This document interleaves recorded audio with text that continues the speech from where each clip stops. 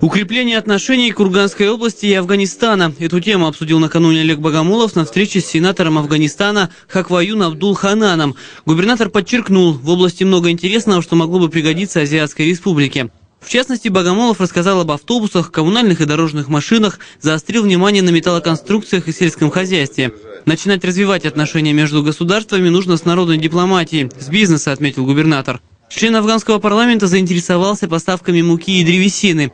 Ханан рассказал, что намерен заключить контракт с заводом медпрепаратов «Синтез», рассматривает и другие варианты сотрудничества и готов восстанавливать дружеские отношения между странами. Мой визит был частным. Я приехал по состоянию здоровья, а также по делам бизнеса. Мы посмотрели завод «Синтез», и он нас удовлетворил. Поэтому мы заключим с ним контракт. В будущем есть еще много проектов. Спектр сотрудничества он огромен. От э, поставки зерна, муки до мостовых металлических конструкций. Все это, безусловно, э, требуется для Афганистана, который уже больше 30 лет находится в состоянии войны. И я думаю, что когда-то же это все равно закончится и перейдут к мирному, к мирному строительству, к мирной жизни. Я полагаю, что это все может быть востребовано.